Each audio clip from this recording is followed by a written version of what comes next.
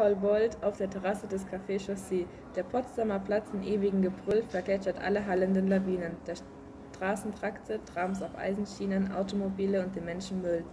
Die Menschen rinnen über den Asphalt, Ameisen emsig wie Eidechsen flink. Stirne und Hände von Gedanken blink, schwimmen wie Sonnenlicht durch dunklen Wald. Nachtregen hüllt den Platz in eine Höhle, wo Fledermäuse weiß mit Flügeln schlagen und lila Quallen liegen, bunte Öle. Die mehren sich zerschnitten von den Wagen, auf Spritz Berlin des Tages glitzernd Nest, vom Rauch der Nacht wie Eiter einer Pest.